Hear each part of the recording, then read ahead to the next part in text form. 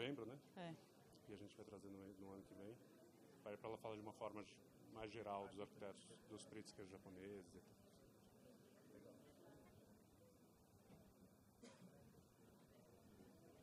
Aproveitar e tomar um golinho d'água. Posso pedir? É para você. O... Eu ia perguntar alguma coisa. Para quem era que eu ia perguntar alguma coisa? Vai falar que eu estou mais magro? Eu vou falar que eu não quem que eu ia sinto, perguntar alguma eu quero. Não lembro mais. Ah, era para ele, porque ele falou da Marta. A Marta gostou do presente? Quem? A Marta gostou do presente? A Marta gostou do presente. Agradeceu. Nem a mim, mas ela mandou um recado pela, pela Amanda, disse que achou muito fofo, achou muito incrível e tal. E, mas ela me escreveu um e-mail esses dias, eu fiquei todo. Então, espero que você tenha recebido.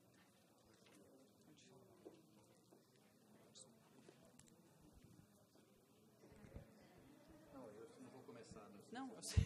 Não se preocupa, não tô- Quer por aqui? Tá te atrapalha aí? Senão a gente faz o seguinte: deixa aqui, se vier a terceira pessoa, se vier a terceira pessoa, você tira.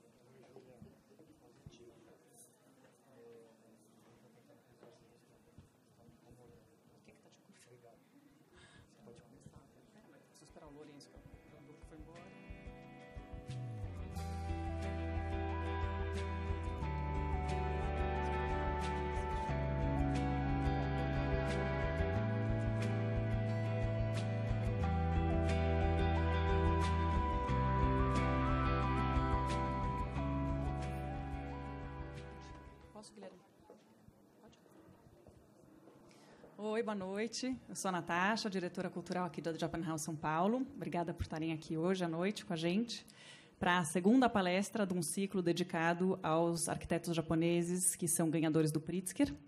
É, imagino que quase todos saibam, os é, arquitetos japoneses são. O Japão é o país que mais recebeu o Pritzker até hoje, e a gente está criando um ciclo inteiro de debates e palestras a partir desse, dessa perspectiva, de, dessa importância da arquitetura japonesa no cenário internacional. Então, hoje a gente tem o Guilherme Wisnik, que é professor, pesquisador, curador, colunista, e, se Deus quiser, meu orientador em breve. Assim a gente já deixa gravado, fica tudo certo que vai falar sobre o trabalho do Tadao Ando. É, esse projeto é um projeto que tem co-curadoria do Lourenço Jimenez, da FGMF, que gosta de falar, então talvez queira falar algumas palavras. Depois dessa. É, boa noite.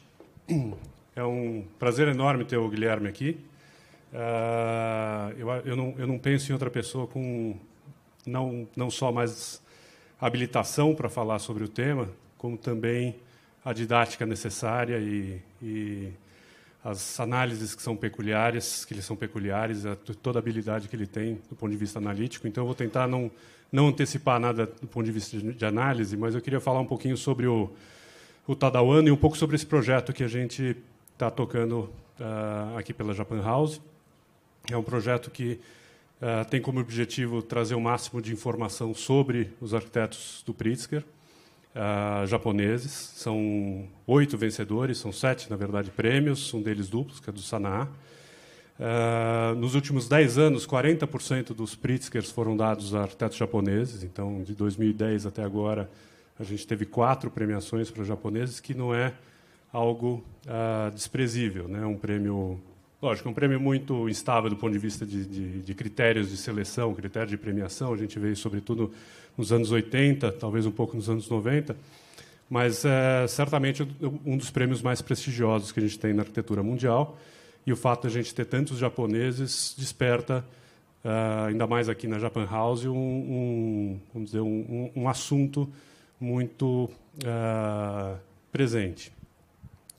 O Tadao Ando nasceu em 41, então ele acabou de completar nesse ano 88 anos, 78 anos, desculpa, 10 anos a mais até porque ele deu a desculpa de, de, de estar muito velho para vir ao Brasil. Então, ele não, não aceitou o nosso, nosso convite para vir falar aqui presencialmente para vocês. A gente tem a, a gente teve a primeira palestra da Kazuyo Sejima, que foi em setembro, se não me engano, né? E para o ano que vem, fiquem atentos, a gente vai ter mais programação ligada a esse, a esse tema.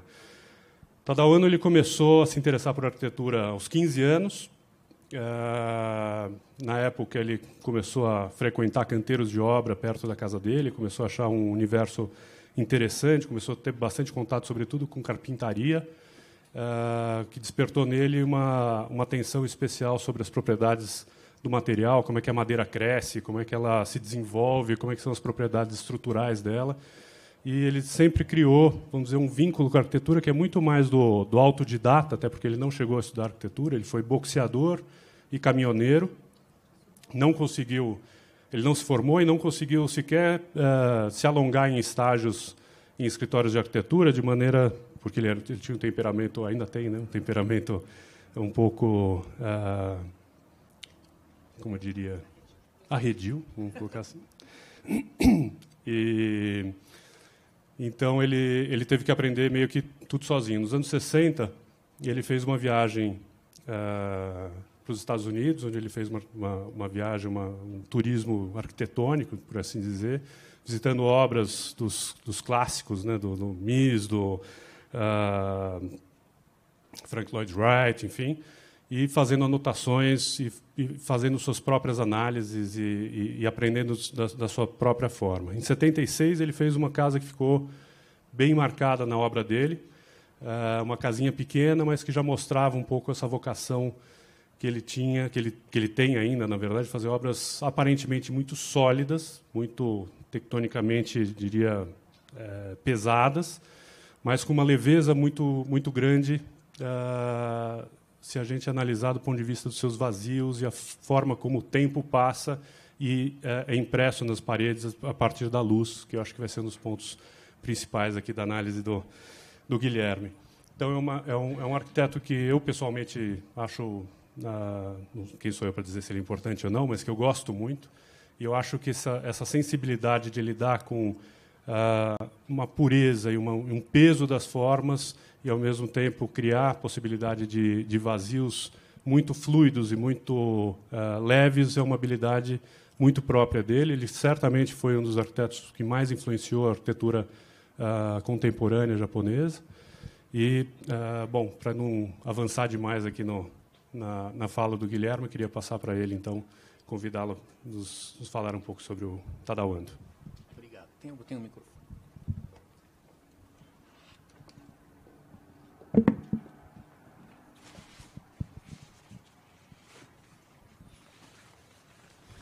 Então, boa noite a todas e a todos. Um prazer vir aqui conversar com vocês sobre esse arquiteto tão uh, cuja obra é tão instigante para nós, né? Eu agradeço ao Lourenço e à Natasha o convite e parabenizo pela iniciativa da Japan House fazer esse ciclo de, de conversas, seja com os arquitetos em pessoa, como a Sejima no caso, ou então alguém que possa aqui trazer uma análise sobre a obra de alguns deles. Né? É, como já ficou claro na fala do Lourenço, acho que todos aqui sabem muito bem, a arquitetura japonesa contemporânea é impressionante. Na minha opinião, o que não é dizer muita coisa, mas é a arquitetura mais experimental e mais inventiva que se faz já há muito tempo no mundo. Então, uh, essa expressão em números de Pritzkers é, é uma tradução disso, que é um processo, na verdade, bastante real. É, eu dei esse título para essa conferência por conferência, é para essa conversa, porque é uma reflexão que já vem de algum tempo, né? Eu estou vendo aqui o Felipe lá no fundo que uma vez me convidou para falar sobre o falamos sobre o Tanizaki numa outra situação, o Junichiro Tanizaki autor do livro Em Louvor da Sombra, que é um, um, pequeno eh, livrinho, é um texto desse grande escritor japonês, um livro de 1933, já muito antigo, mas muito clarividente, se a gente pode dizer assim, usando uma expressão contraditória em relação ao elogio dele, que é para a sombra e não para a clareza. Né? mas que então é, a minha abordagem para a obra do Tadao Ando vai na direção de pensar uma certa particularidade cultural japonesa, que é a elaboração poética da ideia da sombra, por oposição à luz ocidental. Né? Eu vou tentar explicar isso. E eu relaciono isso com a, a noção de silêncio, no sentido de que alguma coisa que leva a um recolhimento, a um voltar-se para dentro, a uma ideia de uma arquitetura que busca uma certa mudez, né? É, uma nudez e uma mudez é, com economia de recursos e que uma arquitetura que se opõe ao aspecto ruidoso da cidade contemporânea. Isso é, diante de uma globalização uh, acelerada né, e de uma urbanização muito ruidosa, de uma vida tomada pela, pelo excesso de comunicação né, que entra pela televisão e depois por, pela internet, por todas essas maneiras que nos tornam o tempo inteiro conectados, é uma arquitetura que, ao contrário, na contramão disso, busca um recolhimento, um voltar-se para dentro, uma reconexão com a natureza. E, e, como é disso que se trata, é, e, e, nós nem temos tempo para uma grande abordagem, eu, eu, não vou, já queria avisar logo, eu não vou abordar a obra do Tadauando como um todo, que é uma obra vasta. Aliás, não vou mostrar nenhum museu, por exemplo, vou mostrar algumas casas e igrejas, né, e, e relacioná-las também com alguns outros arquitetos e com os escritos do Tanizaki. Deixa eu me entender com isso aqui, vamos ver. Vocês pensaram que era uma palestra sobre o Tadao Ando, mas na verdade é sobre o Barragan. Por isso que eu vim de rosa. Pegadinha. Não, brincadeira. Mas é porque é, eu queria começar essa conversa de uma maneira enviesada. Até porque o Luiz Barragan é um arquiteto mexicano que é um dos arquitetos que o Tadao Ando gosta muito. E essa obra, Quadra San Cristóbal, né, é uma casa junto com Aras, na periferia da cidade do México. É, é essa obra incrível, que, que é feita desses muros terrosos, com cores muito fortes, com esse elemento da água muito presente, esse piso de areia batida. E quando eu tive, quando eu, eu, tive a sorte de visitar essa obra, não faz muito tempo, uns dois, três anos atrás, e eu visitei, e, e, tem lá, quando a gente visita, você tem que marcar a hora, tem o sujeito que te recebe. Eu fui com amigos, a gente foi recebido num, num certo horário, só tinha gente, e esse, é, essa espécie de, de, de, guarda do lugar, digamos assim, né? É, guardião, né? Um, é um, um, um chefe da, dos empregados que tem ali, e ele que gosta de falar. Então ele ficou, a gente ficou querendo silêncio né, nesse espaço, assim, e ele falava muito. E ele contando histórias. A certa altura ele contou uma história que eu achei curiosa e é essa história que eu quero usar aqui para começar essa conversa. Ele dizia assim: um dia, há muitos anos atrás, veio visitar essa obra um japonês. E ele marcou no primeiro horário, 8 da manhã, um horário muito cedo. É muito longe o lugar. Se você está no centro da cidade do México, você leva uma hora e meia para chegar. Ele chegou, pontualmente, muito cedo, só tinha ele, porque era um horário muito cedo, e ele ficou uma hora sozinho visitando todos esses espaços. Aí o, o, o mexicano né, me contava isso, que ele vinha, ele abraçava os muros, ficava assim, 20 minutos abraçado num muro. É, ele tinha uma relação tátil com, com a arquitetura, com essa arquitetura. E vocês já entenderam o que é o Tadauando, né? E aí, é porque quando eu conto história em outra situação, eu guardo isso para surpresa para o fim, mas agora aqui está óbvio.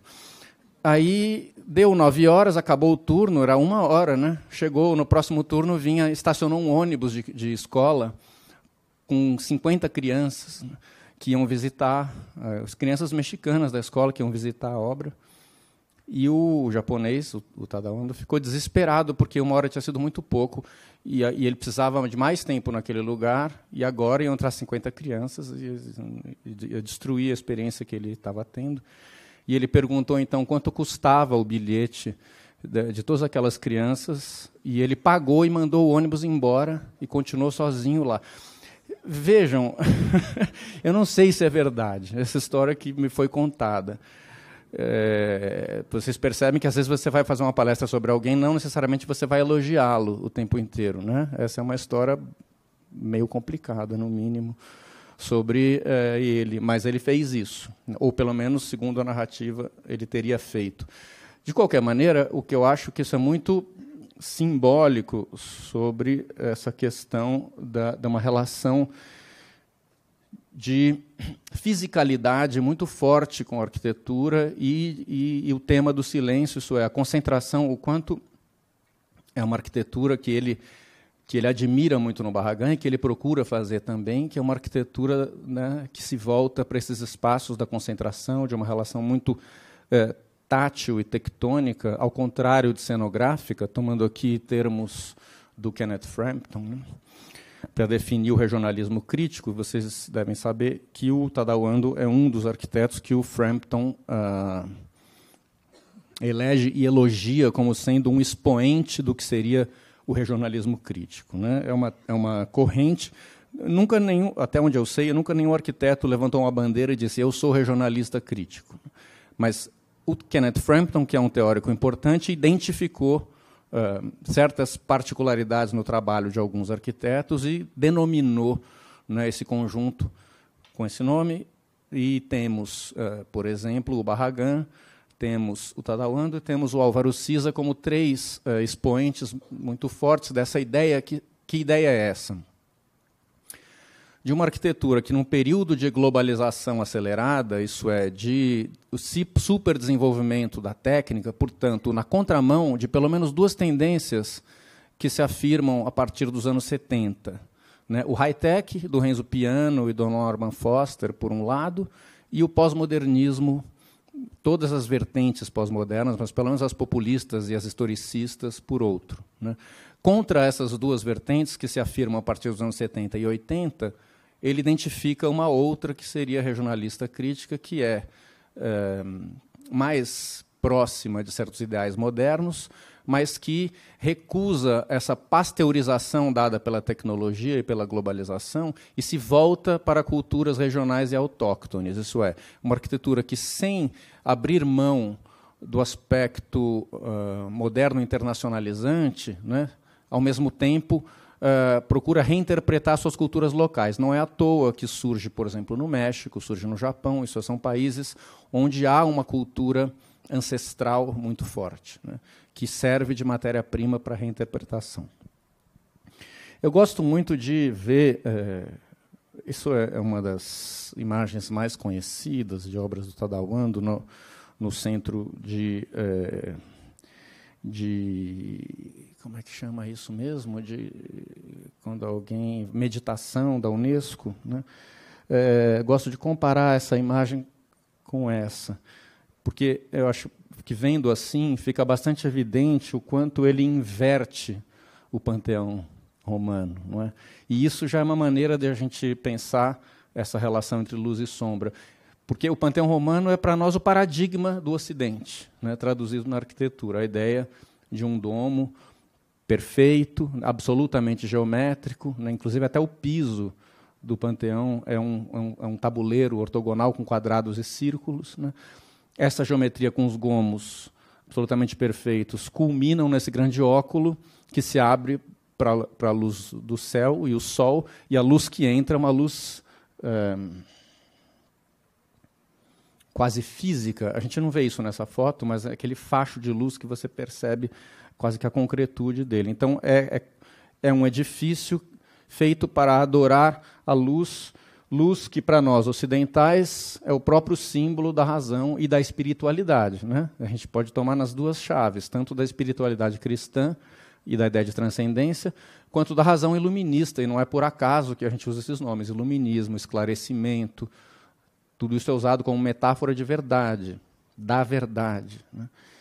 Enquanto que para os orientais, que, que, evidentemente também não abrem mão da luz, mas a sombra que é o mais importante, isso é, é não a luz, porque a luz ocidental, a ideia qual é? aquela luz que varre tudo, que põe tudo às claras. Né?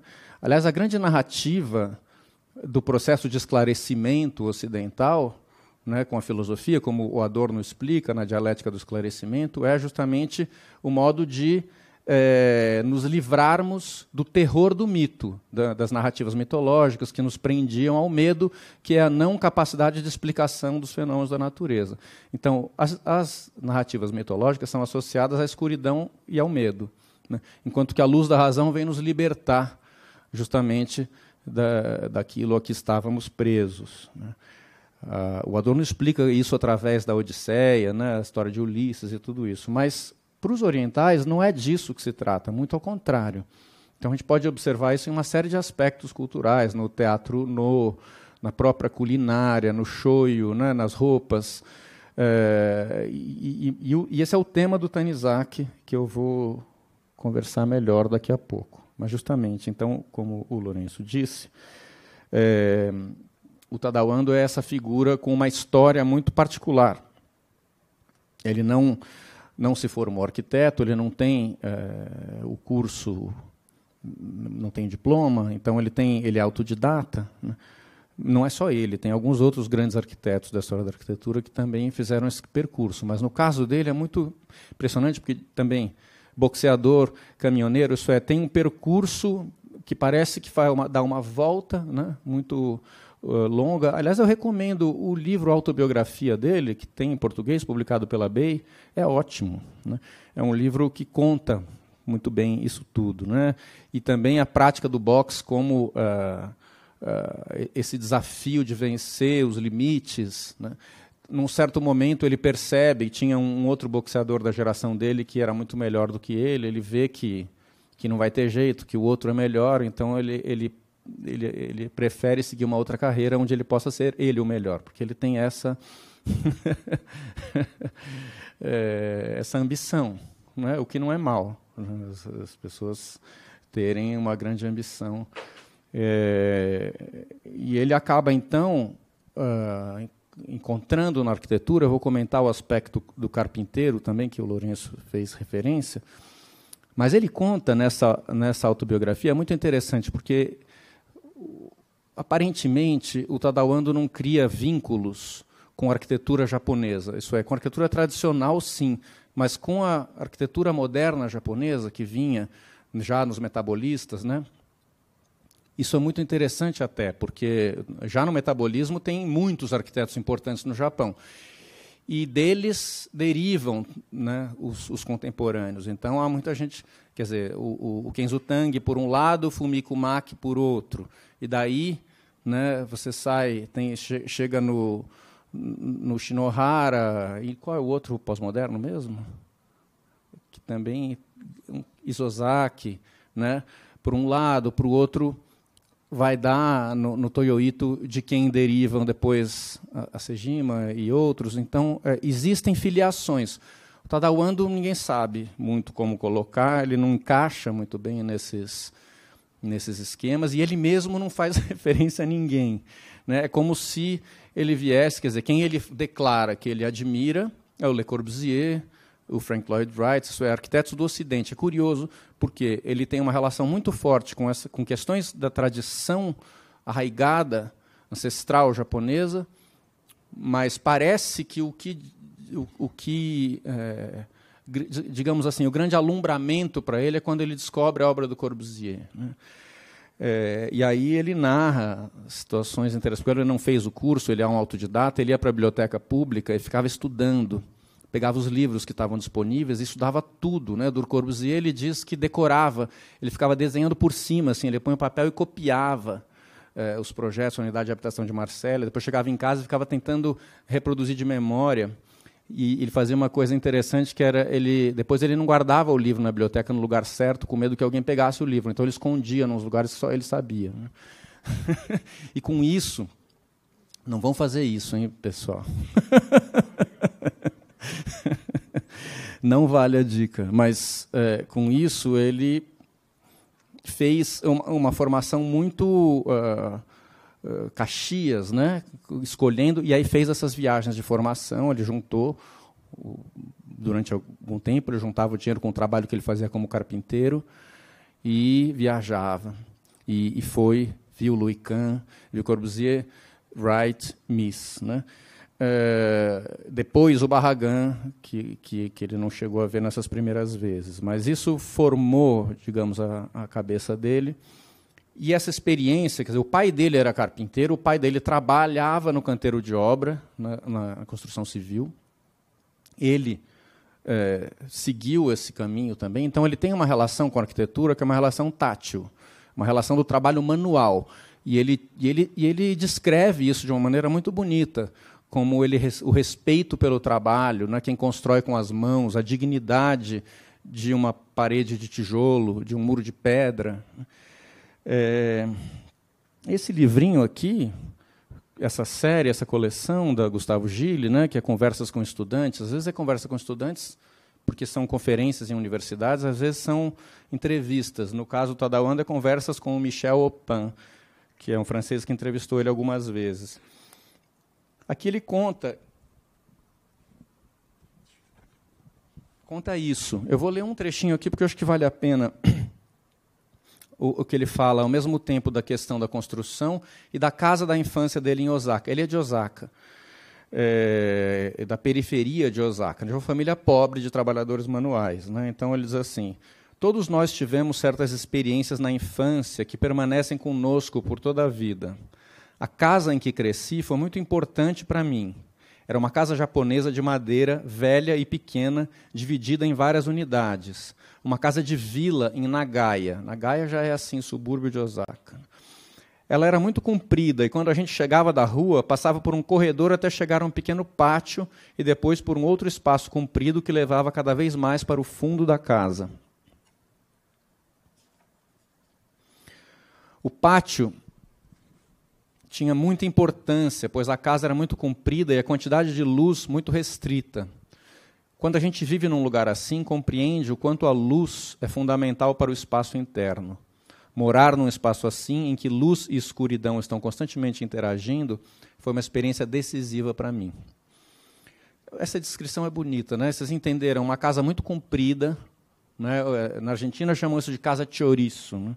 É uma tipologia de cortiço. Né? Você entra uma casa comprida, com um grande corredor que leva vários cômodos sem janela nenhuma e um pátio no meio da casa que é responsável por trazer a luz para os cômodos que estão próximos a ele.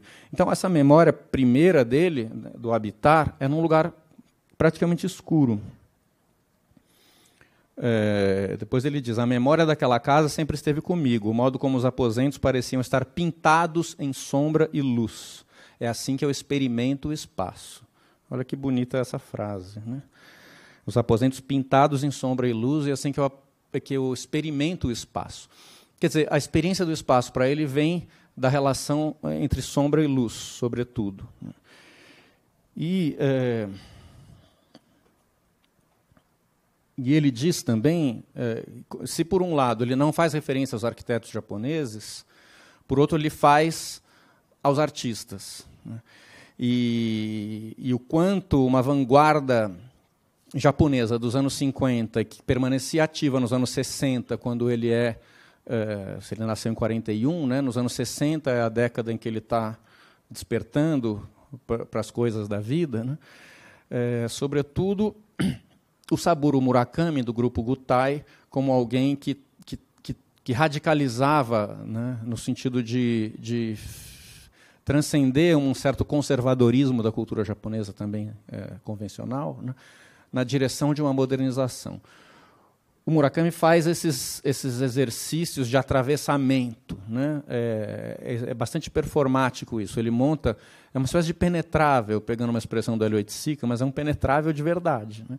Que você tem que vir é, correndo e, e, o peso e a força do seu corpo, somada à velocidade que você consegue, é que é determinante para saber se você vai conseguir furar todos os papéis e chegar até o final ou não, ou se você vai parar antes. Né? Então, uh, isso é alguma coisa que o, o Tadao uh, relaciona como tendo sido fundamental, e eu acho que é, depois veremos como. Né? O Hotel Imperial do Wright, em Tóquio, evidentemente, né? e o Barragan. Então, é, o Barragan, né, esses espaços, de novo, os espaços de concentração, né? esses espaços de solidão, esses espaços voltados para dentro. É interessante, até não sei se vocês sabem, mas essa é a própria casa do Barragan, cujo terraço-jardim, tomando uma expressão do Corbusier, vai se fechando cada vez mais. Né? Inicialmente, quando ele constrói a casa, isso é um terraço-jardim que você vê. Próximo dali está, inclusive, o bairro do Pedregal, que ele mesmo projetou. Né? Depois, a cidade do México vai sendo como São Paulo, né? toda destruída pela especulação imobiliária, e ele vai ficando tão amargurado com, com, esse enfeiamento da cidade que ele vai fechando a casa em muros e ele vai vivendo numa espécie de claustro. Né? E esse banquinho é muito interessante, porque é de se notar que só cabe uma pessoa. Né? Quer dizer, o Barragão é uma figura extremamente solitária. Então, a arquitetura dele tem esse sentido monástico, né? que, é, que a arquitetura do Tadawando vai buscar também em grande medida. E essa casa Azuma, que o Lourenço se referiu, ela tem um papel fundamental dentro disso. Né?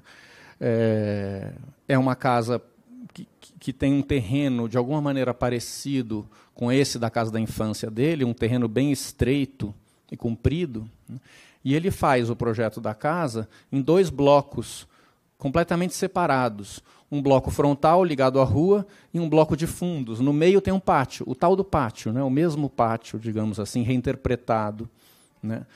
E, e ele conecta esses dois blocos através dessa passarela. O, o, que é muito interessante, porque isso é radical, depois a casa Moriyama do Nishizawa radicaliza mais ainda essa ideia, né? que é uma casa bem recente. Mas o, o que, que é radical aqui? Que você é, para passar de um bloco para o outro, você tem que sair ao, ao, tempo. Né? Você tem que sair no frio, tem que sair na chuva, se você quer ir da sala para o quarto, por exemplo. Né? E isso num país como o Japão, onde neva, onde o, o, o clima é, é agressivo, né? é, é, radical. Então, é, ele, o, o Frampton cita um trecho do Tadawando, que eu vou ler aqui também sobre isso. No texto, do, no capítulo, né, último capítulo do livro História Crítica, que é o capítulo sobre o regionalismo crítico, é, diz assim, o, o Tadawando citado pelo Frampton, depois da Segunda Guerra Mundial, quando o Japão entrou num ritmo de rápido crescimento econômico, os critérios de valores das pessoas mudaram Japão no pós-segunda guerra, transformação total. Né? O antigo sistema familiar, fundamentalmente feudal, entrou em colapso. Essas transformações sociais, como a concentração de informações e locais de trabalho nas cidades, levaram à superpopulação de povoações agrícolas e colônias de pescadores, como também deve ter acontecido em outras partes do mundo. Populações urbanas e suburbanas excessivamente densas tornaram impossível preservar um traço que no passado foi por demais característico da arquitetura residencial japonesa: o contato íntimo com a natureza e a abertura para o mundo natural. Aquilo a que me refiro quando uso os termos arquitetura moderna fechada é uma recuperação da unidade entre a casa e a natureza, algo que as moradias japonesas perderam ao longo do processo de modernização. Bom, então eu preciso explicar. O Tadawando defende uma ideia de arquitetura moderna fechada. O que, que é isso? É uma arquitetura moderna contida em, em certas restrições. Isso não é uma arquitetura moderna é, universalista, internacional, mas uma arquitetura moderna que tem um léxico moderno, mas ela funciona para um contexto específico. Né? Que é esse contexto japonês, e ele, vocês perceberam, uh, por esse trecho que ele lamenta essa perda. Né? Ele tem uma perspectiva um tanto nostálgica sobre uma perda. Que perda é essa? Um Japão, no pós-Segunda Guerra Mundial, que se ocidentaliza, que as cidades explodem, e que, portanto, aquela relação que existia da família, da comunidade né, e, e, e, de uma vida em família, na casa, na conexão disso com a natureza, vai se perdendo. É, é, isso que ele tenta restaurar através do que ele chama de uma arquitetura moderna fechada, portanto, uma arquitetura moderna que funcione dentro de certos parâmetros mais restritos. é, esse é o Marcel Duchamp, né, é, jogando xadrez. Depois que, o, que o Duchamp, depois que ele faz o grande vidro, né, e o grande vidro racha e ele declara que, o, que a obra está definitivamente inacabada, ele, é, ele abandona a arte, né? ele não faz mais nada e se retira. E passa o resto da vida jogando xadrez. Né? E isso é uma espécie de enigma que ele lança ao mundo. Né? Como se fosse assim, aquele que, que chegou à anti-arte, que destruiu o conceito de arte ocidental, não tem mais nada a dizer, só, só se dedica a um exercício de enigmas. Né? É, por que, que eu digo isso aqui? Porque, de fato, vocês estão percebendo que, que, que o que eu estou querendo discutir é um arquiteto que é profundamente oriental, por um lado, mas que tem referências no Ocidente. Certamente, é, esse emudecimento da arte né, que o Duchamp inaugura é alguma coisa que vai numa direção que a gente pode dizer talvez oriental, né, de um de um laconismo, de alguma coisa que não fala tanto, que busca pela negação. É, o processo de urbanização no Ocidente tem a reforma de Paris, os bulevares como marco né, do crescimento das grandes cidades, que pelos expressionistas foi muito é, entendido como um grande temor. Que cidade era essa do, que a modernidade inaugurava? Essa cidade da massa, a cidade da multidão, né, a cidade onde o indivíduo já não existe mais. Né. É, esse é o temor, isso aqui está em, em Metrópolis, do Fritz Lang. Né, e isso chega talvez a sua imagem máxima em Tóquio, né? que é onde o cruzamento de Shibuya é, é um, uma das imagens mais aterrorizantes para alguém que, que não consegue lidar com o fenômeno da multidão. Né? É, é, a, é, a, horda cruzando e se atravessando permanentemente. Então, isso, isso, de alguma maneira, isso é o antagonista da arquitetura do Tadao Ando. É contra isso que ele constrói. Né? É buscando é, renegar essa dimensão da experiência urbana do século XX e retornar a um estágio onde as pessoas possam voltar a ser elas mesmas, se reconectar com uma dimensão mais espiritual, com a dimensão da natureza. Então, a Casa Azuma é essa casa com essa fachada bastante austera, né? é, apenas uma porta, o lote estreito, como eu disse, e uma vez lá dentro, né, uma outra foto do mesmo ângulo, mais ou menos, que eu tinha mostrado, visto de cima é assim.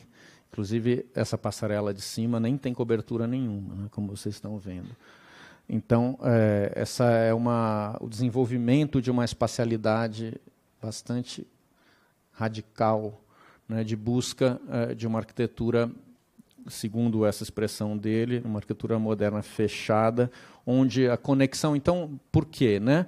A, a, relação com a natureza. De fato, se estiver chovendo, se estiver nevando, você vai tomar chuva, você vai tomar neve, porque isso é, é intrínseco ao estar no mundo. Né? Não, não, não, não, se trata de fazer uma arquitetura que vai barrar, que vai fazer ar-condicionado e fazer a gente ficar imune ao aspecto do que está acontecendo lá fora. É preciso sempre é, ter claro essa relação direta e essa consciência. Então, uh, a Casa Cochino é um pouco posterior, né? essa Casa Zuma 75, 76, uh, são obras inaugurais, são casas, uh, e são casas onde então ele trata com esse léxico do que aqui nós chamamos de arquitetura brutalista, para o Tadauando, assim como para nós aqui no Brasil, sobretudo na escola paulista, há uma referência clara no Le Corbusier do pós-Segunda Guerra Mundial. É Corbusier brutalista, unidade de habitação de Marsella, Ronchamp. A Capela de Ronchamp é uma das obras que o Tadauando mais admira. Né? É, então ele, mas ele constrói essa espacialidade bastante austera, né? de uma maneira semelhante, de alguma forma, como a gente pode pensar, talvez, certas casas do Artigas, né? onde, inclusive, uh, o, o, próprio mobiliário é de concreto, né? você não vê é, quase que concessão nenhuma. A, a, se bem que a gente vai ver um sofá aqui. Eu vou me. Depois eu volto. Né? Em, em outro momento da casa há um sofá. Mas. É, são espaços de uma secura muito grande, no, bom sentido da economia de meios, né? é, onde também, aqui dá para ver, né? é, a implantação em relação ao terreno, um terreno em declive, onde esses volumes vão uh, ocupando, mas vão, são bastante discretos também, no sentido em que você. Eles não se destacam muito, né, mas tem é, formas curvas, né, quando necessário, que é o que a gente vê naquela sala, na foto inicial, né, onde justamente é uma fresta de luz e, e, essas frestas de luz vêm varrendo um ambiente bastante penumbroso. Né.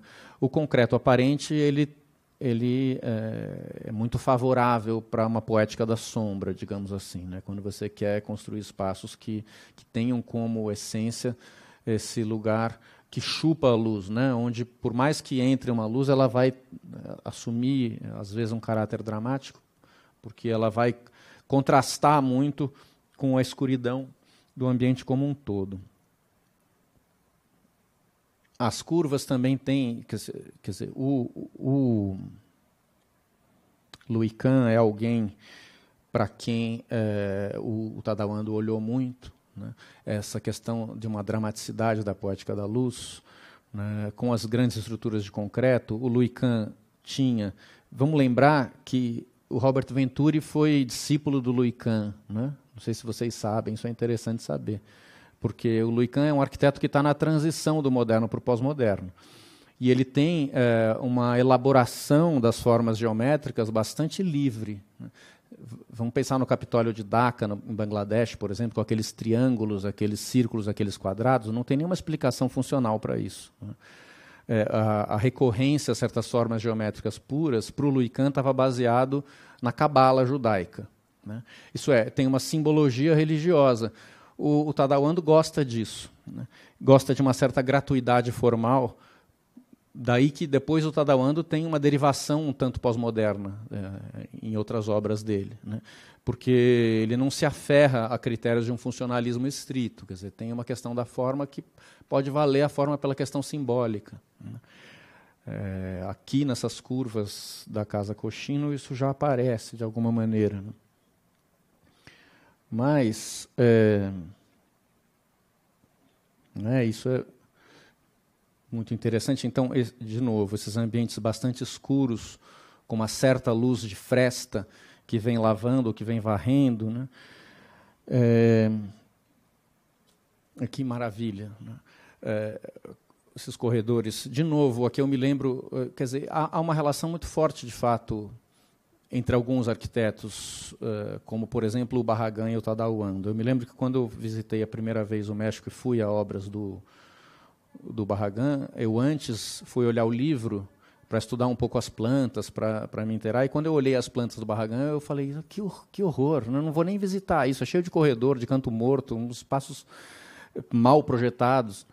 E, e, mas isso era o meu pensamento... É, como chama isso, cheio de preconceitos paulistas, né? Depois que você visita o espaço, você percebe que não, não é apenas a sua maneira de pensar que é a melhor, nem a única. Então, é, porque às vezes são raciocínios muito diferentes que tentam construir percurso.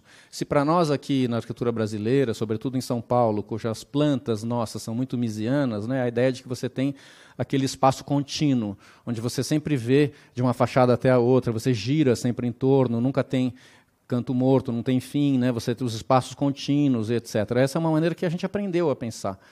Mas a, a maneira deles, né? É, que é a do Barragan também, que é a do Tadawanda, é uma arquitetura de percurso, onde você vai, se você entra num corredor como esse, muda a temperatura. Né? É, o corredor é interessante muitas vezes para isso, porque ele, ele, não é exatamente um espaço tão amplo, ele, você não tem a dimensão da construção como um todo, mas você tem uma experiência com outros sentidos do seu corpo, que não são só a visão que domina muito para nós. Né? Então, é,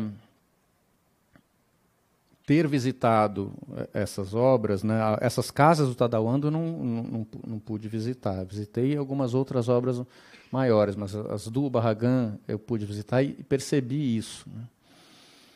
É, vou falar ainda me melhor daqui a pouco, como já não temos mais tanto tempo, mas do Tanizaki da questão da luz que naquelas imagens era importante, mas eu vou ainda mais um pouco à frente. Essa é a planta da Igreja da Luz, né, do Tadawando, talvez a obra mais, mais incrível e mais importante. Na minha opinião, uma das melhores obras de arquitetura de todos os tempos. Né, uma frase forte, mas é, é, é esse volume retangular, bastante regular, mas que, no entanto, é cortado por uma parede na diagonal que vai de dentro para fora e que, ao fazer isso, como que desconstrói a regularidade do espaço. Né? Espaço esse que termina com aquela luz rasgada na parede, né, atrás do altar. Isso varia muito, né? Olha, outro momento do mesmo espaço, bem mais claro. Né? Aliás, é, justamente essa é uma das questões mais lindas desse espaço, o quanto ele varia conforme a escuridão ou a claridade que mudam ao longo do dia. Né?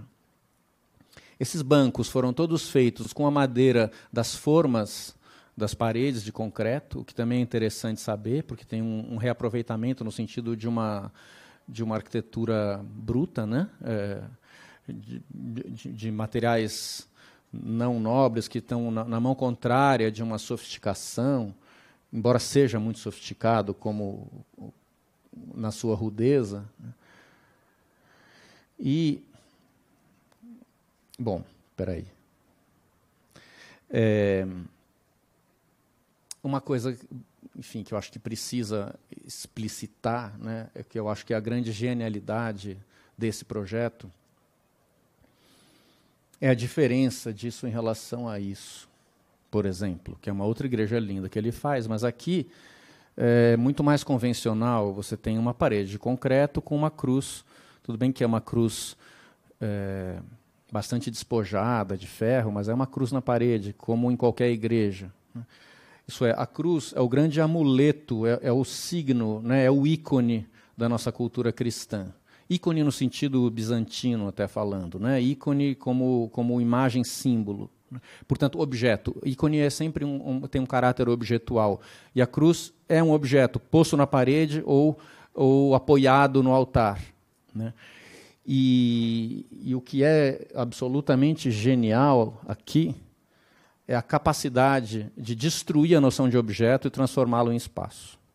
Né? Através justamente do negativo, que é o vazio, que é a luz. Né? É, essa luz, essa cruz, não é objeto. Ela é a própria espacialidade da arquitetura. E isso faz toda a diferença. Né?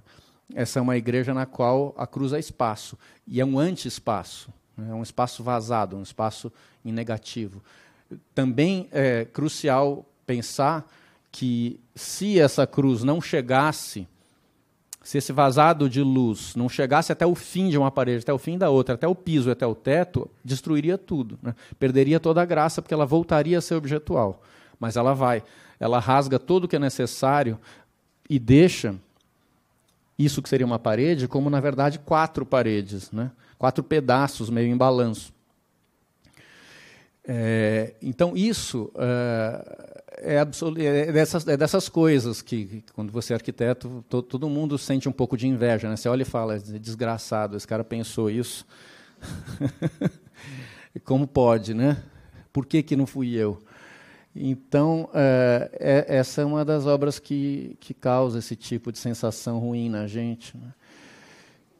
E que eu acho que, é, que tem é, algumas leituras importantes para chegar aí. Claro que tem é, toda a questão oriental da sombra, que eu estou guardando para o fim, mas é, como as referências do Adawando também são muito ocidentais, evidentemente tem Fontana, né, a ideia, Fontana corta o plano. Né. Você tem o quadro, a ideia de que a tela é um plano bidimensional, e, e, aí todo o discurso do Greenberg sobre a arte moderna, né? A pintura é pintura porque é sobre um plano bidimensional, ela é abstrata porque ela não pode ser figurativa, porque figurativo é, não é pintura, né? É, é, o teatro, é outra coisa e tal. Então, é, essa, esse modo de explicar arte moderna, Fontana vem e satiriza na hora que ele rasga e ele fala, bom, né, nessa hora essa bidimensionalidade foi criticada porque apareceu um pequeno volume lá atrás a tela ganha profundidade. Coisa que o Mata Clark entendeu muito bem e radicalizou quando, quando começou a cortar os edifícios. Né? Como se fosse um Fontana no mundo real. Né? Se você levasse aquela atitude para o próprio espaço mesmo, para a arquitetura, né? fazendo, na verdade, de alguma forma, o que o Murakami já estava fazendo nos anos 50 no Japão, aquele atravessamento. Né? É um exercício dessa mesma natureza do que o Aliás, é, é contemporâneo ao Fontana, né, o Murakami. E isso o, o Tadao Ando estava vendo lá no Japão. Então, é, isso é muito interessante pensar essa, essa coincidência, né? que vai levar, olha só, está quase abstrato de entender isso aqui, né? mas é a Igreja da Luz, vista de um certo ângulo é, mais acima. Né? Então, uh, alguém sabe o que é isso? Alguém quer arriscar? Boa. As janelas do tipo claustro dos quartos da casa do Barragã. Ó, né? O, o, o Tadao anda olhando. Também é, é, lindo, né? É lindo porque são essas janelas que, quando elas abrem, elas criam essas pequenas frestas de luz que desenham a cruz. Né? Então, o coisa que o muito bem, Anita, você. É. Uhum.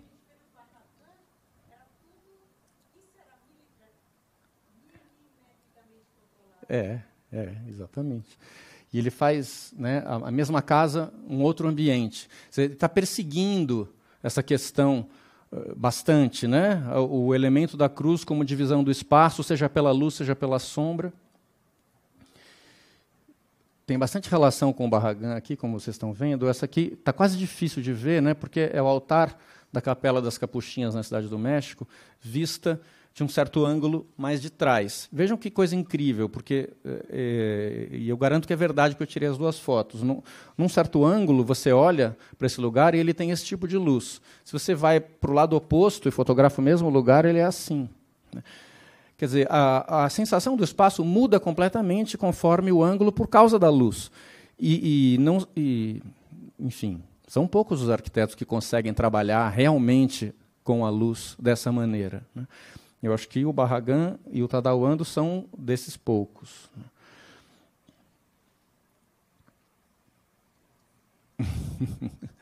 É, são, são, algumas igrejas incríveis, né? Eu acho que a Igreja da Luz é a mais forte, mas essa também, a Igreja da Água, é impressionante, sobretudo assim, quando a água está congelada e a cruz vira. Aqui ela, ela é ícone, né? Mas ela é um ícone deslocado, o que também é muito bonito, porque ao invés de estar tá no altar, ela está, mas o altar é lá atrás, né?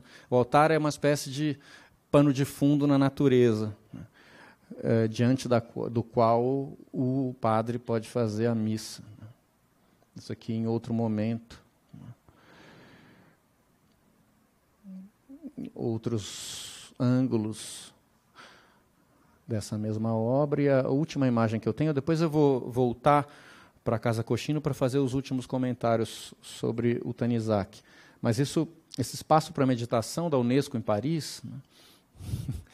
muito curioso, né? Você tem que, você pode é, para você visitar e fazer a meditação nessa, nessa cadeira com esse espaldar, você tem que marcar muito tempo antes, a, a, fila é muito grande, porque você só vai fazer a meditação num horário muito preciso, que é no momento do dia em que a luz bate, em cima da cadeira. Dura cinco minutos, mais ou menos, você tem o direito de ficar lá, só uma pessoa por dia. Né?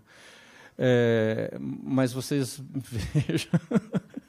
é, é só podia ser o Tadao Ando, né, que fosse o arquiteto uh, para quem fosse encomendado um projeto como esse. É exatamente aqui em cima que tem aquela aquela uh, aquela luz pelas frestas que eu comecei comparando dizendo que é um panteão às avessas. Bom, então vamos voltar.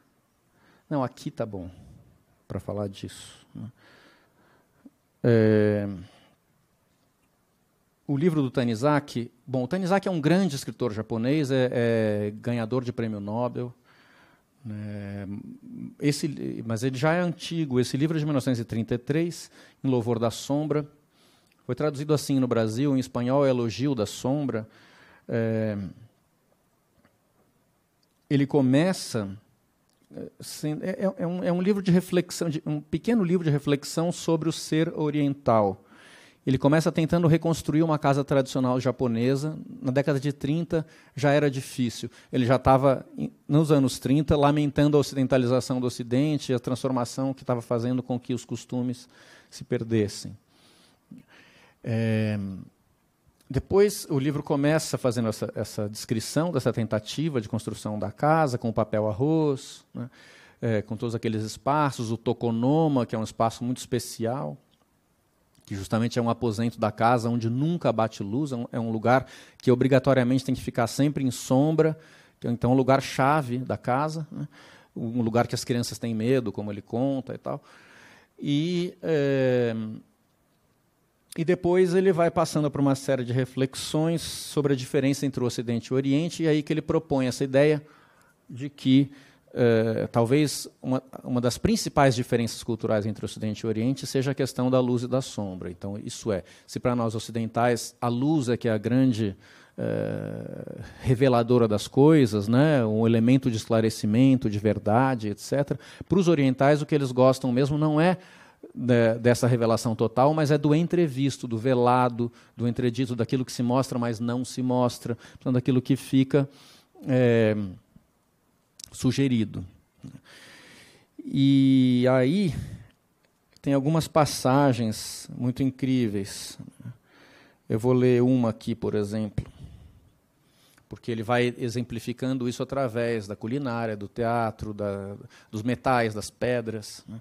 Por exemplo, aqui ele diz assim: de um modo geral, nós, os japoneses, sentimos desassossego diante de objetos cintilantes.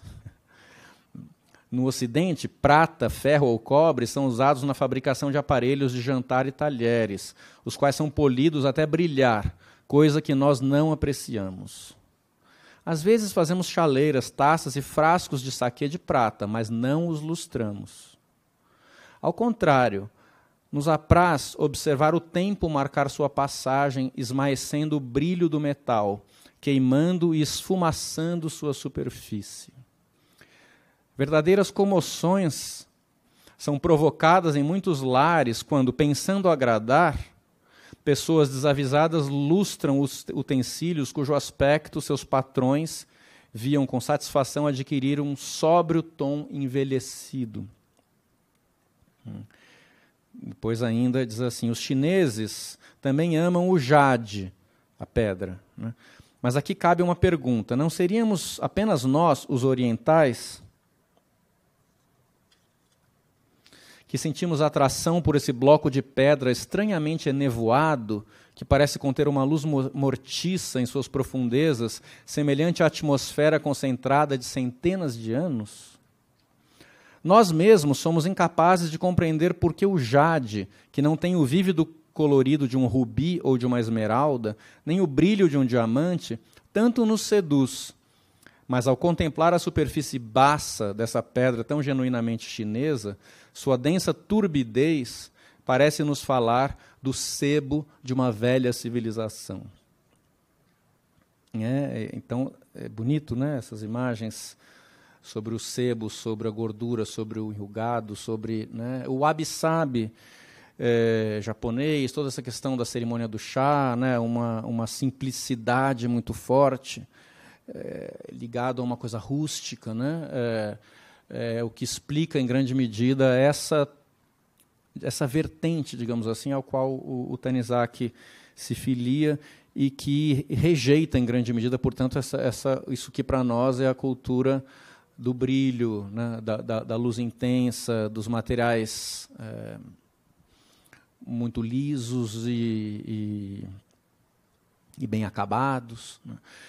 Então, uh, nesse sentido, né, a arquitetura do Tadawando ela potencializa e, e, coloca num plano contemporâneo, né, moderno contemporâneo, uh, certas características que a gente pode dizer que são arraigadas, que são ancestrais, o que permitem a gente pensar, justamente como Kenneth Frampton, nele como um regionalista crítico, isso é, como uma produção que se coloca na contracorrente de uma globalização pela técnica.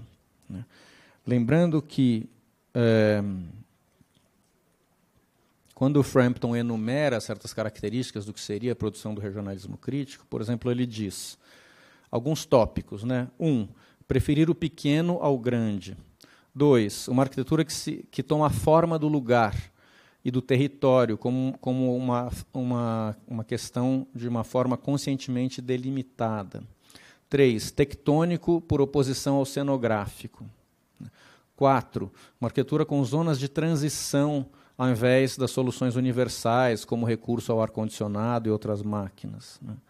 Cinco, que privilegia a experiência sensorial por oposição ao predomínio da visão, ou a ideia de uma arquitetura fotogênica, né? E que se opõe à substituição da experiência pela imagem. Então, é, é, aqui que eu queria terminar. Né, uma, alguma coisa que a gente percebe também, por exemplo, se a gente olha para as piscinas das marés do Álvaro Siza, né, que é uma obra praticamente impossível de fotografar, porque ela é toda fragmentada e quase que diluída no meio das pedras. Né, é, justamente tem algumas arquiteturas que, por mais que algumas dessas obras do, do Tadao Ando resultem muito bonitas em fotografias, né, a gente tem sempre certeza que a experiência do corpo nesses lugares é muito mais intensa do que isso que nos chega através da imagem. Né. Portanto, são tentativas né, da busca radical de uma arquitetura uh, que apela a outros sentidos e que desenvolve uma questão fenomenológica do espaço, que não é justamente a sua circulação enquanto imagem, como imagem vendável de uma cultura uh, globalizada, né, onde a arquitetura se transforma em alguma coisa mais bidimensional do que tridimensional. É isso, obrigado.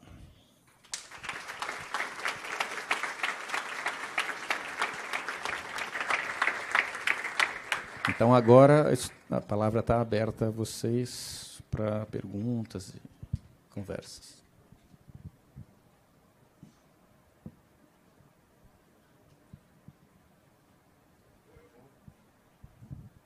Deixa eu inaugurar, então, para o pessoal perder a vergonha. É, na verdade, não é nenhuma pergunta específica, mas eu queria talvez aprofundar um pouco essa questão da, da luz e da sombra, porque é curioso para mim como quando eu, quando eu vejo uma obra do Tadao eu vejo muito claramente o contraste, mais do que a luz e a sombra, eu vejo essa, essa, essa dualidade que talvez não tenha nem, não necessariamente muito nome, né? porque aqui a gente vê uma escuridão plena e uma, um ofuscamento quase que cirúrgico. Né? E, e ele usa a luz, ao, ao contrário, talvez, do que se possa usar no Ocidente, como você bem colocou, ele não é um, um, instru um, instrumento de criação do espaço, mas ele é um, um instrumento de desenho dos objetos que configuram o espaço. Então, você vê essa, essa foto é muito, muito caricata nesse sentido. Né? Não é a luz que ilumina, mas é a luz que desenha e, e, é usada como um instrumento quase que pontual e que, pela própria mutação ao longo do, do dia, ele, ele, consegue desenhar espaços diferentes, por mais que, uh, de novo, fisicamente, aquele espaço seja muito muito conciso, muito, muito quase que resumido, muito uh, econômico, né? Mas tem um outro elemento também que eu que eu gosto de de observar no, no, no na arquitetura do Tadao Ando, que é essa relação com os outros fenômenos atmosféricos, né? Como naquela na, na casa Azuma, que você é obrigado a tomar chuva e sol para ir no banheiro, uh, ou mesmo nessa igreja onde a, a, a originalmente a, a, a, cruz, né, o crucifixo não, é, não, foi, não era fechado com vidro, ele só foi fechado por insistência dos, do, dos padres e enfim dos clientes, enfim essa essa necessidade que ele tem de, de uh, quase que expor as pessoas ao que não é a arquitetura, que não é a construção em si, né? que são que é o que está além da arquitetura, por mais que a arquitetura seja quase que resumida a um pequeno objeto, e não é um pequeno objeto.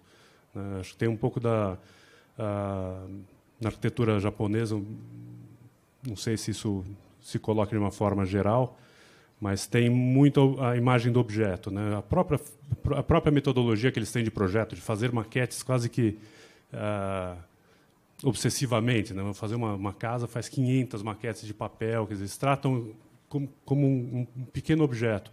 Eu acho que o, o Tadao Ando consegue fazer o objeto e explodir a ideia de objeto ao mesmo tempo. Eu acho isso bem interessante. Não, é, não é uma pergunta, é uma provocação para ver se você é, pensa da mesma forma ou não. Legal. É, vamos lá, vamos pensar juntos. Primeiro, é, te ouvindo, eu me lembrei que eu acho que um exemplo que eu poderia ter dado, e vou dar agora, que acho que torna mais claro, fazer uma boa imagem para comparar com esses espaços assim tão escuros, né? Poderia ser qualquer foto de uma casa do Le Corbusier dos anos 20, o ateliê do Ozanfan, ou, ou tantas outras, tudo branco. Né? É, ou até a arquitetura da Escola do Porto, hoje em dia. Né? Essa obsessão pela brancura. Mas, não, mas o Corbusier, sobretudo nos anos 20, porque aquela arquitetura moderna nascente, né, em grande medida, ela está como, como, como símbolo do Ocidente, nesse caso, a matriz daquilo tudo é o, é o sanatório de tuberculose. Né? Isso é uma arquitetura higiênica. É uma arquitetura que quer que o sol entre, que o ar circule pelos corredores, que não reste nenhuma bactéria em lugar nenhum. E, portanto, a, a iluminação, ela vem, a luz, ela vem associada à ideia de verdade, de espiritualidade e de higiene, como então a construção dessa clareza total. Né? É, aqui, ao contrário, né? É, esse, esses, esses, espaços muito escuros e, e, penumbrosos, eles de fato querem é, explorar essas dimensões. Quase que eu fico imaginando que o, que o olho de quem mora em lugares assim deve ser muito mais aguçado para ver é, 50 tons ou mais até né, de cinzas e de escuros. Mas, é, mas sim, o que você fala da, uh, do contraste, eu acho que aquilo que ele, ele mesmo diz sobre a casa da infância, ele diz, né, a, a, esse é o modo como eu experimento o espaço, um espaço que é pintado em luz e sombra. Não é só a sombra, é claro que é a luz junto com a sombra, podendo construir é, esse tipo de espacialidade. Agora, que a arquitetura japonesa seja muito objetual, não, não sei se eu concordo. Aí a gente precisaria tentar pensar em exemplos. Né? Eu, vamos pensar. Eu acho que a questão objetual ela é muito forte numa tendência escultórica da arquitetura contemporânea, como você vê no Gary ou na Zaha Hadid, numa série de Calatrava, num monte de arquitetos ocidentais que pensam justamente em uma elaboração pelas distorções formais. Por mais que algo disso tenha entrado também no Japão, eu tendo a ver a arquitetura japonesa sempre como mais espacial do que objetual. Sanaa, absolutamente. Né? É, talvez o Toyoito, se a gente pensar na, na, na mediateca de Sendai, né, porque tem aqueles pilares explodidos, é, dá para pensar numa questão um tanto objetual, mas eu não diria que, que, que a arquitetura objetual seria uma tônica japonesa.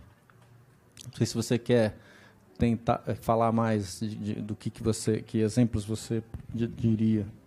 Não, você falou do, do Toyota, lembrei também da, da Serpentine Gallery do, do Toyota, que, é, que é um objeto. Por mais que você tenha ah, uma experiência de, de, luz e sombra dentro do, do contraste é, da estrutura. Até do Saná também é. Até do Saná também é. Serpentine é. Mas, mas uh, me chamou muito mais a atenção do, do próprio processo projetual uh, hum. deles, que me, me, me, marcou nas oportunidades que eu tive de ver o trabalho. Dentro de escritórios, as, oportunidades, que eu tive de visitar, uh, que eles, eles tratam muito o objeto quase como, como, como um, um bibelô, vamos dizer assim, né? no processo de projeto. E isso tudo para dizer, na verdade, que aqui ele, ele, ele consegue criar elementos que sejam muito, muito claros, muito rígidos, muito uh, sintéticos e, ao mesmo tempo, explode a, a, a ideia do, do objeto quando você desenha esse espaço a partir da passagem do tempo com a luz desenhando quase que que minuciosamente caminhos diferentes a cada momento do dia, a cada, a cada, tempo, a cada estação do ano, enfim. Né? Uhum. Então ele consegue explodir essa ideia do objeto, por mais que o objeto seja muito puro. Como é. você vê na Casa Azul, como você vê aqui nessa igreja da, lu, da, da, da luz e tal. É. Então o objeto ele consegue ser identificado como objeto. Na própria Casa Cochino, né, de 81, é. Uh, ele, ele, ele, lê a paisagem, mas você identifica muito claramente né, o, aquelas curvas quase que aquela, aquela contenção em curva não precisava ser em curva, por exemplo. É. Né? Então tem uma, ah, uma voluntariedade do traço uhum. do objeto de um, como, como um signo formal, de fato, mas ali você tem uma, uma explosão. Quando você está dentro, aquilo, aquilo deixa de fazer sentido como objeto. É. Né? Então... Tá certo. Olha só, tem aqui. É... Vou ler um trechinho só porque essa questão do artesão eh, que tem a ver com essa questão justamente da materialidade, tem uma frase que eu acho que é bonita, quando ele diz assim que ele estava contando de ser carpinteiro, do pai e dele mesmo. É, Tornar-se arquiteto ou qualquer outra profissão é geralmente gradual. A gente não sabe exatamente quando foi que virou essa pessoa que é arquiteto, mas acho que para mim talvez tenha sido esse momento em que eu pude me imaginar como construtor, começar a entender a confiança do carpinteiro e a dignidade do artesão. Um efeito combinado fez com que eu pensasse que aquela poderia ser uma forma de contribuir para a sociedade de algum modo. Essa frase ele está terminando um raciocínio sobre trabalhar como carpinteiro, participar do canteiro de obra e entrar na arquitetura pelo mundo da construção e não do desenho. É, então, acho que isso faz muita diferença no aspecto tectônico, por mais que depois ele tenha ganhado essa questão do desenho, que está nas curvas e que está numa elaboração intelectual, né? a arquitetura dele tem, tem sempre essa dimensão construtiva muito evidente. Então, aí mais perguntas. Boa noite, parabéns.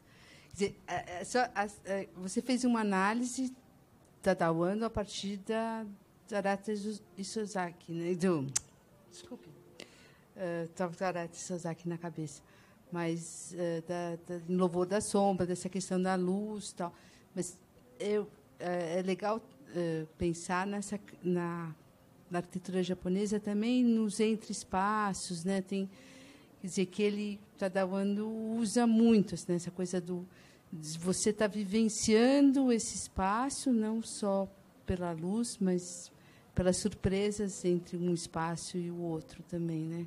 Então, é, que eu acho dizer, bonito de pensar, quer dizer, que, que, você, que essa vivência que você está tendo num espaço, quer dizer, que acho que todos, dizer, o arquiteto, na verdade, ele sempre está pensando em você vivenciando esse espaço, as sensações. Mas achei bonita essa analogia com a luz, né? com a luz e a sombra. É, mas isso que você está dizendo é importante, é bem lembrado. É, isso tem uma dimensão que se complementa muito em relação a essa questão da sombra, que são os espaços de transição e a ideia de vazio. Né? É, a própria essa ideia de vazio que para a cultura oriental é muito diferente do que para nós no Ocidente, né? A gente tende a associar o vazio a uma ausência, né? E para a cultura oriental o vazio é pleno, muito mais pleno de significado. Então o, o vazio é experimentado como alguma coisa realmente intensa, é, não é alguma coisa que sobrou. Né? Então esses espaços de transição que às vezes são simplesmente vazios é, têm um papel estruturante na, na organização da sequência dos percursos e, e, da continuidade espacial, que não é tão contínua, que é mais fragmentária. Né? Tem um outro aspecto do livro do Tanizaki que eu acho que é muito bonito e, e que eu esqueci de mencionar, é que é, chega um momento do livro em que ele, um pouco tentando refutar a ideia de que ele seja um nostálgico, né, que ele está só reclamando daquilo que eh, daquilo que acabou, um mundo que está se perdendo, né? ele faz um exercício ficcional. O Tanizaki ele imagina assim, ele propõe um, um, uma imaginação que é a seguinte: e se, como seria o nosso mundo hoje, do século XX, se a revolução industrial tivesse sido feita no Japão e não na Inglaterra? Esse é um raciocínio muito interessante. Né? É, isso é, não é contra a revolução industrial mas ele gostaria que, que a gente tivesse um mundo urbano industrial feito sobre outra matriz. Como seria esse mundo? Isto é, como, se, como seria se a caneta Bic fosse feita não em cima da pena, mas, mas do, do pincel, do nanquim, por exemplo. Uma série de exemplos né, de tudo isso que é industrializado na nossa vida, que a gente usa, mas que, é, que foi pensado a partir de, um, de uma certa matriz e não outra. Então ele fica ele faz esse exercício ficcional de imaginar, né? Porque é, isso é interessante no sentido continua sendo nostálgico porque não foi isso que aconteceu mas de alguma maneira você pode é, pensar que ainda enfim né, você projeta no futuro outras coisas a gente poderia sempre gente sempre pode pensar mundos alternativos né não era esse o, o, o, lema? Um outro mundo é possível? Ponto de interrogação do Fórum Social Mundial. Então, a gente está o tempo inteiro pensando novos mundos. E essa é uma maneira. Aliás, se, se como parece, a China tende a se tornar o, o grande país hegemônico nesse século, né? talvez as, as relações culturais também entre Ocidente e Oriente se, se transformem. Né? É, então, tudo isso é importante pensar. Eu, eu quero fazer uma pergunta. Porque eu vi aqui ca, aquela casa Zumê, e daí você mostrou a do Luiz Barragan, e eu acho que tem uma coisa super importante para mim, que é o controle. Eu sinto que as duas casas, porque a, essa do Luiz Barragan, no México, eu visitei, e eu tive uma sensação, porque eu adoro a casa, e eu tive uma sensação, não de espaço, mas como se eu estivesse entrando dentro da revista. Porque parecia que era tudo milimetricamente, foi tão engraçado. Essa janela eu reconheci porque ela estava aberta assim. E era isso que era bonito. Parece que ela nunca tinha sido aberta. A cama dele era também era uma. A gente estava visitando. Mas essa outra casa, do, essa casa Zumê, eu li a autobiografia do Tadao Ando e achei super engraçado, porque também ele exigiu do casal que eles passassem. E essa casa, ela fica até hoje. Eu acho que as pessoas são velhinhas que moram lá e elas ainda passam pela chuva. Elas se acostumaram com essa rigidez dele. Foi uma rigidez que ele, ele, ele impôs aos outros, que eu achei engraçado. E o Barragan, ele impôs a si mesmo. Mas eu acho que elas são casas que são bárbaras, mas elas são fotografáveis. Elas são fotografáveis, elas são lindas na fotografia, elas são completamente controladas. São arquitetos controladores. Eu tenho um pouco de vergonha, mas é. é... Bom, eh, muitos arquitetos são controladores, para a gente possa concluir que essa é a essência da profissão. hein? O que você diria sobre isso? É, por exemplo, a Casa Milã do Paulo Mendes da Rocha, a sala era o piso era de asfalto, né?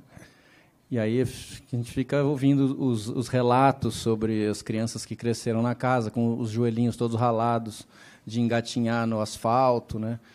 E com os filhos que ouviam os pais que estavam se separando, uma gritaria. Pensei que você ia dizer coisa melhor. Os filhos que ouviam os pais fazendo sexo, né? Porque também as paredes não tocam até o teto, mas os pais se separando também faz parte do mesmo da mesma ideia. É, os filhos que ouviam tudo, uma, uma vida inteiramente compartilhada. Né? É, isso pode ser lido na chave da imposição, e é, em grande medida, mas também pode ser lido na chave da, da grande coletivização da vida, da, da não individualidade. Né? E, e, é claro que a não individualidade pode ser sentida como uma violência, mas ela também pode ser sentida como uma perspectiva de um, de um, de um mundo não burguês, né? menos uh, individualista. Então, tudo isso. Agora, a sua questão é: tem controle muito, né? É, mas eu não acho que isso te leve para dentro da revista. Isso eu discordo. Que, que, que, por ser uma arquitetura controlada, você se sente numa foto. Eu, eu nas, nas casas do, do Barragan, nessas obras do Barragan, eu ao contrário, eu me sentia eu, eu, o que eu sentia é que as fotos que eu tinha visto nunca tinham me dado a menor dimensão do que era aquele espaço. Eu tive eu fui só nessa casa eu tive uma decepção porque eu adoro, eu acho assim mais interessante isso, tá? Agora que, que mas era a casa dele. Agora é. essa outra casa Zumê, que ela tenha se mantido assim, é incrível. É, mas aí, é, enfim, eu não sei se os velhinhos foram obrigados a viver assim. Ou, ou, é, aí já seria teria que fazer uma pesquisa maior, porque o japonês tem essa questão da disciplina, é. né? É, então é, é possível que, que que, isso, que, essa disciplina fosse própria já do, dos próprios eles também. Enfim, aí é mais difícil de saber. Mas sim, mas essa quer dizer, mas essa disciplina oriental facilita um pouco no caso do, do Tadao Ando essa ideia de que você determine coisas rígidas, porque isso tem a ver com um traço cultural. Mas com que, o wabi-sabi, é. hum? com esse wabi-sabi que você falou, que é você se sentir, você não ter o controle das coisas pelo tempo. Hum. E que parece que é um manti... não sei, não sei. É isso, é essa casa que é rígida, que ela é toda controlada e tem um wabi-sabi que seria essa pincelada. Mas olha, Anitta, eu acho assim, nesse caso, é, é, claro que tem muito controle. Você imaginar uma luz que rasga numa fresta, aquilo é muito desenhado. E desenho é controle. Mas é, a experiência dessa casa, eu nunca fui nela, na Casa Zuma, mas eu imagino que é muito menos controle você estar tá exposto à intempérie do que você viver num espaço com ar-condicionado, entendeu? O espaço ar-condicionado, ele é, ele é controlado. Esse espaço não é controlado. Ele está absolutamente imponderável. Ele muda a cada vez. Ele pode estar frio, pode estar calor, pode estar chuva, pode estar neve. Então, é, é nesse sentido. Para pensar. Tá. É.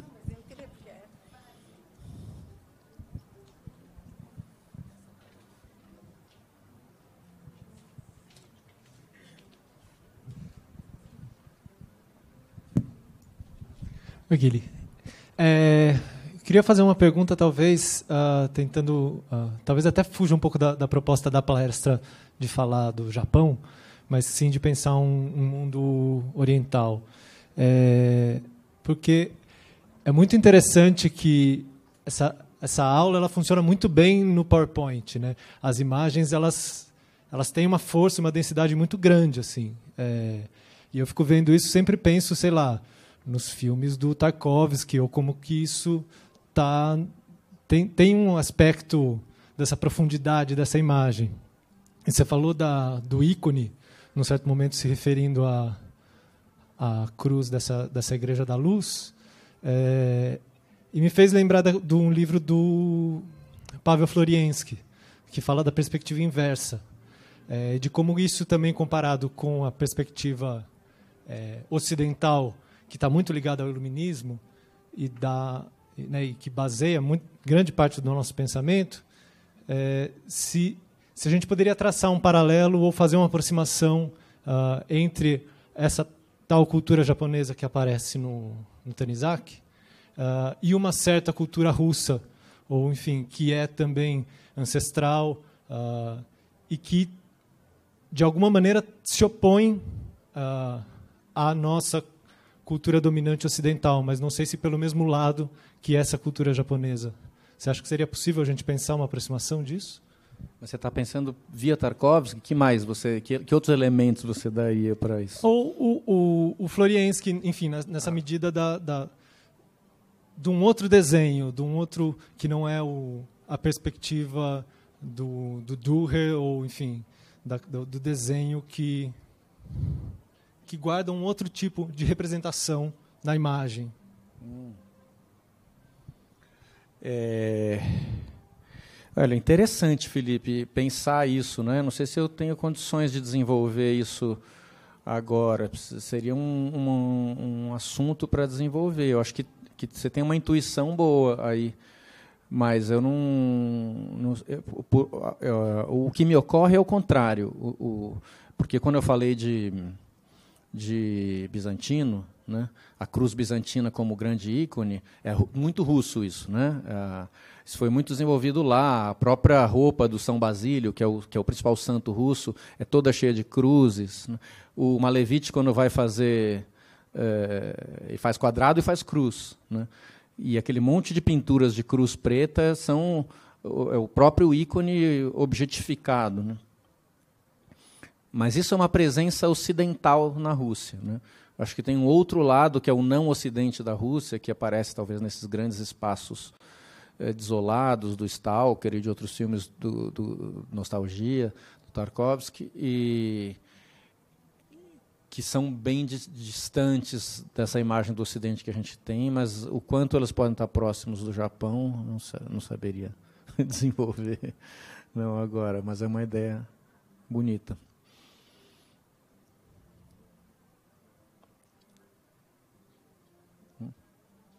Pode fazer a última ali, então, daí a gente, a gente encerra. Então.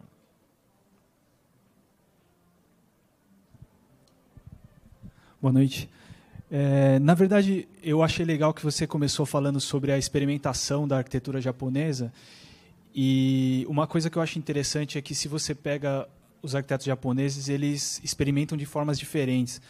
Então, para mim, o Tadao Ando ele é tão conhecido como pelos desenhos da luz, como a gente vê, sei lá, dois terços dos livros tem o Tadao Ando, a capa é a foto do furo do concreto da, da... Então, me parece que o que é interessante é que cada escritório eles põem uma regra dentro da, da experimentação dele, né? O, o Tadao Ando parece que essa placa de concreto mostra uma modulação, uma rigidez, e dentro disso ele faz a experimentação dele que parece que é diferente você pegar o Shigeru Ban, que acaba fazendo uma arquitetura, um pilar de papel, né?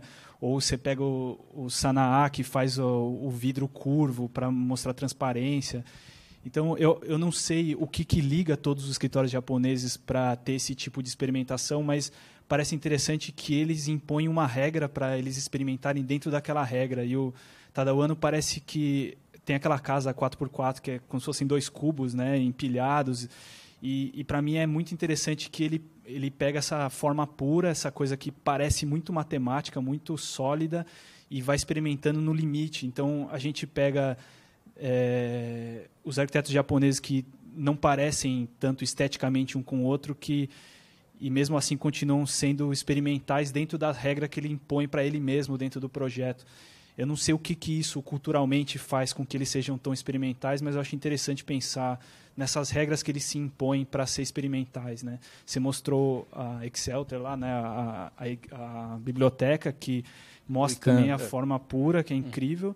E, e, como isso acaba espelhando no Tadawano, mas eu, eu, acho interessante que a gente pega a Zarra, que também faz experimentações de forma, e como que isso foi parar na cultura japonesa de um jeito tão hoje é tão comum, né? Assim, entre os arquitetos que a gente conhece japoneses, Shuhei Endo, que todos têm a própria regra, mas dentro dessa regra eles experimentam as formas e os espaços. Como você chama? Ari. Ari. Então, Ari, é, essa é uma, uma pergunta a se pensar. Né? É, eu acho que, que é, é bastante variada a arquitetura japonesa, até porque tem muita gente fazendo e muita gente aparecendo. Mas talvez a, a característica que seja comum a, a todos eles é, é, uma arquitetura muito despojada e muito nua. Né?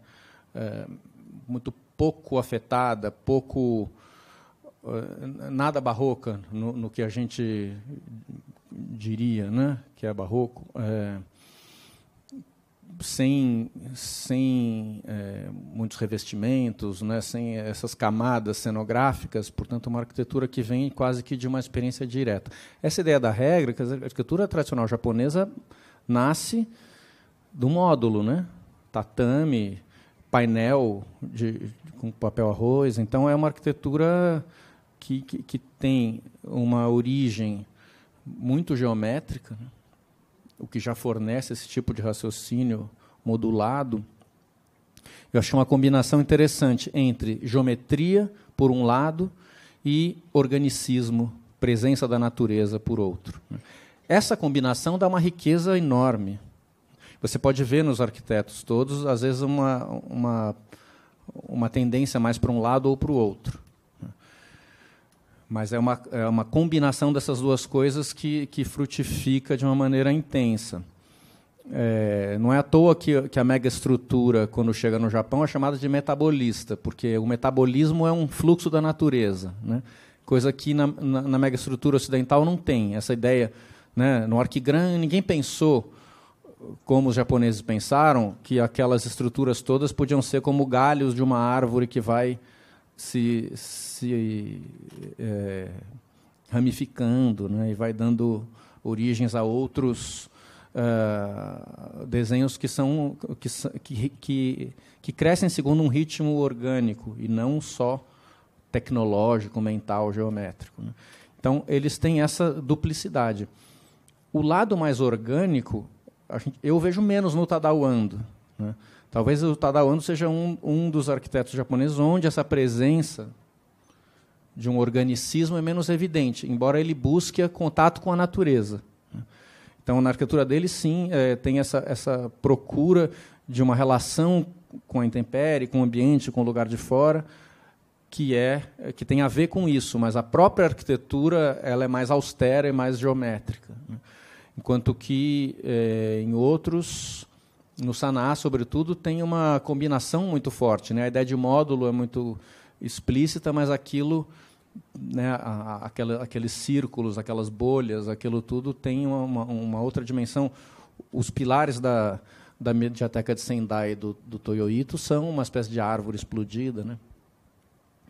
Então, outra coisa que eu acho, que eu vejo muito presente na arquitetura japonesa atual, é a busca pelo quase que pela eliminação da matéria, uma coisa que pode ser feita de nada, né? É uma arquitetura no limite do desvanecimento, assim, pensando naquela mesa do Ishigami, por exemplo, né? Uma mesa que tem um vão de 30 metros e um perfil assim, que ninguém entende como é que aquilo não cai. Né? Então, eles estão desenvolvendo uma arquitetura radicalmente nesse sentido. Mas o, o Tadawando não é isso. Né? Ele é bem tectônico, ele tem uma solidez de alguém que, que era carpinteiro. Né? Então, acho que tem uma combinação dessas coisas todas.